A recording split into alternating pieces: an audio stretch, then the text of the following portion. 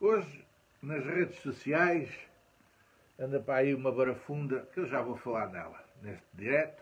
Vou falar das redes sociais, da justiça, do Jorge Jesus e do meu livro, O Grande Amor da Minha Morte. Uh, eu ler um bocadinho, se quiserem, posso ler um bocadinho aqui do livro e falar sobre ele, sobre o livro, sobre as pessoas que já leram o livro e que me mandam mensagens, enfim, falar, conversar com, com os meus amigos que estão por esse, uh, por esse lado e, e que não estão apenas na região saloia, estão espalhados pelo mundo inteiro. Uh, nós aqui costumamos receber mensagens da Austrália, dos Estados Unidos, do Canadá, da Tailândia, da Finlândia, da Suíça, da França, da Inglaterra, de Espanha, já recebemos, da Venezuela, da Venezuela, que espero que, esteja, que estejam bem os portugueses que nos veem na Venezuela, que estejam o melhor possível. Uh, do Brasil, vários do Brasil.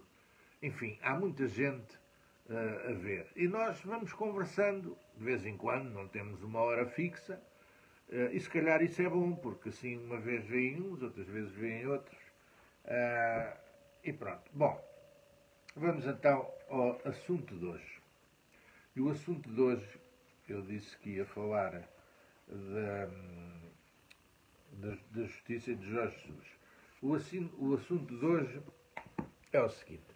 Anda por aí nas redes sociais uma data de gente a dizer: é pá, o Jorge Jesus tratou uh, a procuradora por você. Tratou a pessoa que representa a justiça por você. Ah, meus amigos, você é a abreviatura de vossa mercê, portanto também não nos respeitou. Não é? É a abreviatura de vossa mercê. Portanto, não, não mas todo aquele teatro da justiça, uh, meritíssimo, Vossa Excelência, todo aquele teatro da justiça não será para esconder a ineficácia da justiça. Não será para amedrontar aqueles que precisam da justiça. Todo esse teatro. Eu, quando vou ao médico, e o médico para mim é muito mais importante que qualquer juiz, quando vou ao médico não digo meritíssimo senhor doutor. Aliás, eu tenho um amigo meu que é médico, que é médico, uh, e que não quer que lhe chamem doutor, porque ele diz, eu não sou doutorado. Os doutorados são doutores, eu sou apenas licenciado em medicina. Uh, esse meu amigo tem, é mais velho que um ano ou dois, portanto não é nenhum garoto, não, vamos lá ver, eu tenho 67. E ainda exerce ele, faz bancos e tudo. E, e diz isso. Agora, a grande discussão não era, não devia de ser entre o povo, não devia de ser como é que o povo deve tratar a justiça. É o contrário. A grande discussão devia de ser é como é que a justiça anda a tratar o povo. Aí sim, aí é que estavam a discutir alguma coisa de útil. Agora vi para as redes sociais que o Jorge Jesus tratou a procuradora por você, Epá, mas esta malta e estes jornais e esta coisada toda não têm mais nada para fazer? Nada. Tratou por você, a abreviatura de Vossa Mercê, qual é o problema? Está alguma lei que diga, há alguma lei que diga que, que, que é assim que tem que se tratar o, o juiz? Epá, eu não vou não vou dizer tu ou isto, quer dizer, respeitosamente, tratar respeitosamente, como o contrário também deve ser feito. Não é? Portanto, a discussão não deve ser se Jorge Jesus, ou, como é que o povo deve tratar a justiça. A discussão deve ser como é que a justiça deve tratar o povo. Porque depois aí, quando esse problema for resolvido, o problema do respeito para com a justiça estará resolvido seguramente. Não tenho dúvida absolutamente nenhuma. Uh, segundo assunto. Segundo assunto que, que eu, enfim, queria, podíamos conversar aqui hoje um bocadinho, é sobre os boicotes, sobre as, as grandes empresas, as grandes empresas, que controlam aquilo, controlam tudo. Eu continuo a receber aqui mensagens de pessoas que vão às grandes livrarias, como a Bertrand, principalmente são sobre a Bertrand, e que lá dizem que o livro que eu escrevi está esgotado, ou, ou esgotado, ou não me lembro agora qual é o outro termo, ou, ou que não existe, que não, que não inacessível, ou coisa assim. Isso é, é mentira. Isso é completamente falso. Mas pior ainda é que eu estou a receber mensagens, também sobre a Bertrand, que dizem o seguinte: uma senhora foi lá e encomendou o livro, e passado uns tempos, ou, ou encomendou no, no, site, encomendou no site da Bertrand e pagou. E passado uns tempos, recebeu um e-mail a dizer: o livro nunca mais vem, quer receber o dinheiro de volta. Epá, desculpem lá, mas isto é coisa que se faça e continuarem a dizer às pessoas que o livro não, não que o livro está esgotado. Portanto, a partir de hoje eu sou obrigado a, já emendei o anúncio que ponho no final dos vídeos. Não está lá nem UC, nem Bertrand, nem FNAC, nem nada. Quem quiser adquirir o livro, faça o favor, encomende-o diretamente no site da editora Chiado. E para o fazer é simples, basta pôr Guilherme Leite, tudo junto e em minúsculos, guilhermeleite.com PT, P de Pedro, T de Tavares. PT no Google, escrever isso no motor de busca e foi um atalho que eu fiz. Vai parar diretamente à página da editora Chiado, onde o livro pode ser encomendado. Uh, e depois vai para qualquer país. Uh, tem sido assim. Eu tenho recebido, vou, vou, antes de começar a ler o livro, vou ler algumas mensagens que aqui estão. Uh, começo de um lado e acabo do outro. Vic Sam diz: Estive na FNAC do Colombo e não havia. Pronto, olha, é um ovo. O Rui Almeida diz: Olá, cara amigo Guilherme Leite, acabei de ler o seu livro, O Grande Amor da Minha Morte. E deixo que lhe diga que gostei muito. Continue, muitos parabéns. Forte abraço. Obrigado, Rui Almeida. Muito obrigado. Eu gosto de saber que as pessoas gostam. Todos nós gostamos de saber que gostam do nosso trabalho. Outra mensagem mensagem de Ricardo Lopes. Eu tenho o seu livro e recomendo vivamente a sua leitura. É de, um, é de um conteúdo muito cativante e detalhado. Bom livro, diz o Ricardo Lopes. Outra mensagem que vem do Daniel Alexandre e diz o seguinte: reparem, na Bertrand, o seu livro O Grande Amor da Minha Morte está esgotado há várias semanas. Ó oh, Daniel Alexandre, isto é mentira. O livro não está esgotado. O livro, eles não o querem vender na Bertrand, não vendam. É um problema deles. Mas não digam é que está esgotado. Não está esgotado. A editora tem lá muitos livros e o livro foi escrito para ser lido, não para, para, para andar. Isto é, é, é desculpem lá, isto aqui. Eu não posso dizer que é um boicote organizado, mas é. Olha, vocês achem o que é. E quem lê o livro tem essa opinião sobre o livro. Eu ainda não recebi uma única mensagem uma única mensagem de uma pessoa a dizer é pá, aquilo não vale nada. Não recebi uma única, desculpem a imodéstia, mas não recebi. E todos nós sabemos que, é, é, que as pessoas se motivam mais para reclamar do que para escrever uh, que, que, gostam. Ninguém vai ao, ao restaurante, olha, dê-me o livro e tal. E depois é para dizer que o cozido estava muito bom. É pá, infelizmente no restaurante, quando se pede o livro, é para, para reclamar. E aqui é isto. Bom, outra, outra, outra mensagem a seguir do Daniel Alexandre também, ele mandou duas mensagens. Fiz agora a encomenda na editora Chiado conforme recomendado. Foi um instante. Pronto, está aqui. É o que diz o Daniel Alexandre. Portanto, diz que foi. Na Bertrand dizem que está esgotado. Eu respondi-lhe a dizer isso é falso. E ele, a seguir, encomendou na, na Chiado e diz que foi um instante.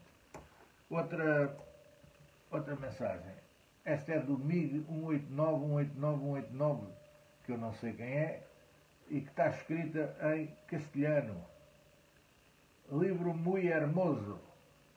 El gran amor de, de mi morte. Livro muito hermoso. Bom, eu, eu fico particularmente contente porque vejo que alguém uh, também lê fora do país, consegue castelhano, enfim, quando se aplica, que nem todos conseguem ler português. Aliás, ele pode escrever em castelhano e ser português, pode ter nascido num país onde se fala castelhano e, enfim. Daniel Vilarinho, abraço do Canadá. Eu já tenho o seu livro, nada como comprar online. Abraço. Pronto. Uh, depois de ler estas mensagens e de hum, continuar, enfim, com este sentimento de. Como é que eu ia dizer? De tristeza, de indignação face à Bertrand e aquilo que eles dizem às pessoas que lá vão comprar o livro. Vamos então ler hoje no capítulo 5, o Vira-Casacas. É o nome do capítulo. Quando chegou a Vila Séria, o professor Moraes foi viver para um quarto alugado no primeiro andar do café. A mulher do pirulito tratava-lhe de roupa. As refeições tomava-as numa mesa ao fundo do estabelecimento. A comidinha era de tal ordem que em meia dúzia de semanas já tinha engordado. A pirulita, como chamavam a mulher, era uma cozinheira de mão cheia. Cada um é para o que nasce, e ela via-se. Ou por outra, saboreava-se tinha nascido para aquilo. Os pastelinhos de bacalhau com arrozinho de tomate eram uma coisa do outro mundo. A feijoadazinha era de estalo. E o cozidinho? Tudo com hortalicinha do próprio quintal. E a cabidelazinha? Hum, mas quais cinco estrelas atribuídas por uma conhecida marca de pneus? Esses gajos entendem. É de borracha, não é de culinária. Digam lá que exterminar em inho todos os pratos confeccionados pela pirulita não vale muito mais que uma qualquer estrela desses snobs de palato a armar ao importante. Nesses dias, os chefes ainda não tinham tomado a televisão de assalto com as suas receitas de fome, que mais parecem pinturas no fundo de um prato do que comidinha da boa. E quando falamos em comidinha da boa, falamos do chefe Silva, da Maria do Urso Modesto, ou das dezenas e dezenas de cozinheiras e cozinheiros de mão cheia espalhados por essas tascas fora do Minho e traz os montes aos Alentejos e Algarve, sendo obrigatório nunca esquecer a espetada da Madeira ou a alcatra dos Açores. Falamos de comidinha portuguesa e não, e não do serviço dessa gente que abastarda a nossa culinária inventando disparates do género gaspacho com ostras, conseguindo assim, numa só virada, estragar as ostras e o gaspacho. Já para não falar no roubo que é terem a lata e o descaramento de apresentar um cozido à portuguesa que cabe num pires de café. Sim, Nessa época, a televisão não era sobre modas e trivialidades cor-de-rosa de vedetas de pacotilha, mas sim sobre política, principalmente porque o país estava em época de eleições presidenciais. O telejornal abria com Mário Soares e parece que já houve bronca da grossa. A sua comitiva tinha sido agredida ali perto, na Marinha Grande. Olha, o bochechas, eu vou na tromba, diz o Cai bem, apontando para a televisão. Mal, então o gajo é que leva na cara e o outro é que está a deitar sangue da cabeça. Nessa altura as imagens focavam um elemento da comitiva a sangrar. Estes políticos são todos a mesma coisa. Aproveitam-se do sangue dos outros. O Sousa Magrinho, ao dizer isto, estava certamente a pensar no pé que lhe tinha voado numa mina no norte de Moçambique. O senhor professor, o que é que acha disto? Não é democrático, foda-se. Ai, desculpe, lá o ponto final da frase. Lá democrático não é. Mas acho que o Dr. Mário Soares é um político experiente, sabido. E fizeram isto para o prejudicar. Se fizeram isto para o prejudicar, enganaram-se. Acho que ele ainda vai ganhar as eleições. O Bochechas, o seu professor, não é os jornais. Tem 8% nesses estudos que fazem sobre os resultados.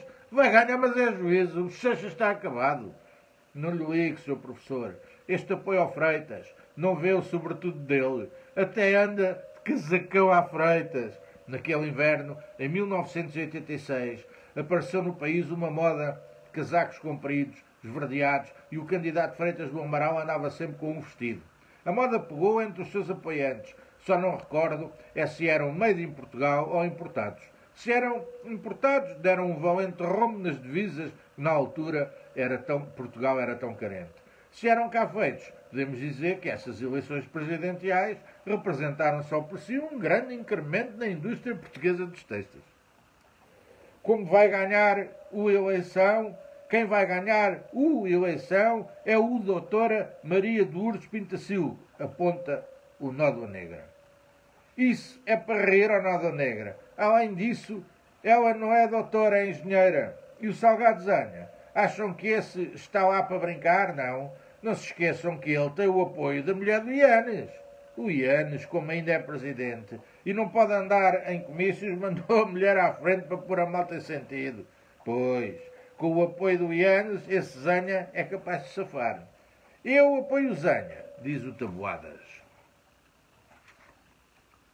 Então já ganhou a eleição, aponta o Nodo Negra. Só com o apoio do Ianes não era certo o Vitória. Agora, com o apoio do Tabuadas, o Zanha ganha com certeza. Foi uma risada geral. Até o professor Moraes, ainda acabado com as, ainda acanhado com as conversas, se deixou levar pelo ambiente. E depois segue. Isto era uma discussão num café, numa altura das presidenciais, em que os candidatos foram, recordemos, Mário Soares, Salgado Zanha, Maria Lourdes Pintacildo e Freitas do Amaral. Comparem a categoria destes quatro candidatos com os candidatos que temos agora 30 anos depois. Será que isto está a andar para a frente? Ficamos por aqui. Não se esqueça, o grande amor da minha morte o meu conselho é, se quer ter o livro, encomende-o para a internet. Deixe lá as Bertrands e as FNACs e isso, porque vão lá e dizem que o livro está esgotado. E num dia devemos de saber porquê. Para encomendar para a internet, a editora é Chiado. E, ah, basta, até aqui no site, da, na, na página do Facebook da Sou TV, podem ir aqui acima, há um botão que diz comprar agora. Só a clicar e vão parar diretamente à página da editora Chiado, onde podem encomendar o livro. Ou então é escrever no Google ou no outro motor de busca Guilherme Leite, tudo junto em minúsculas, guilhermeleite.pt e vão parar também à página onde podem encomendar o livro. Até amanhã.